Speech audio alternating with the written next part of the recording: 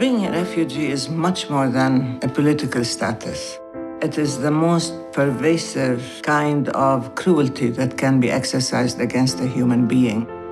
You are forcibly robbing this human being of all aspects that would make human life not just tolerable but meaningful in many ways.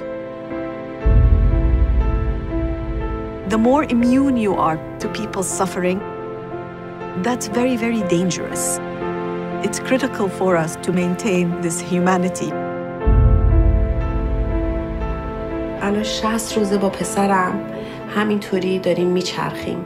ولی هیچ کس نیستش که بگه یه راهی رو بخواد به ما نشون بده. کجا برم زندگیمو شروع کنم؟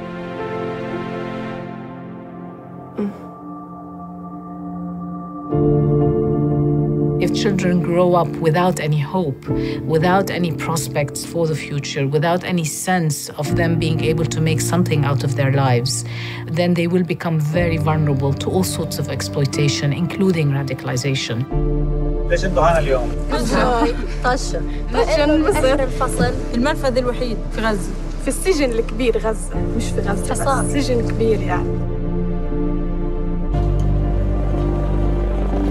The officials came here and told them, look, there's no way you're going to get papers to continue. Either you go voluntarily or we arrest you.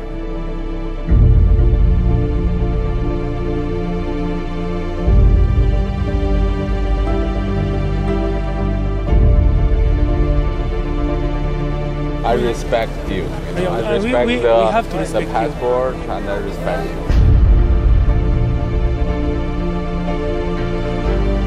Going to be a big challenge to recognize that the world is shrinking and people from different religions, different cultures are going to have to learn to live with each other.